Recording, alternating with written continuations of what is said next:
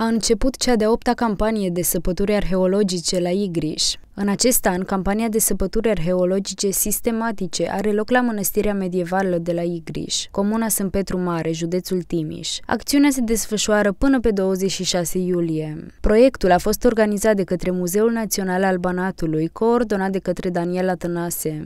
De asemenea, campania reprezintă o parte din măreția fostei mănăstiri cisternice Egres. Situat pe raza comunei Sânt Petru Mare, situl arheologic este unul dintre cele mai importante din epoca medievală la nivel național. Mănăstirea de la Igriș a fost reprezentativă pentru regatul maghiar medieval, aici fiind înhumați regele Andrei al II-lea și soția sa. Totodată, poveștile Banatului sunt departe de a fi cunoscute în totalitate, mai ales când se face referire la zona de câmpie și la epoca medievală. În 2013, 2018, printr-un parteneriat între Muzeul Național al Banatului și Universitatea Catolică Petre Pazmani din Budapesta, a început cercetarea la abația cisternică de la Igriș, iar din anul 2016 au fost deschise mai multe șantiere arheologice.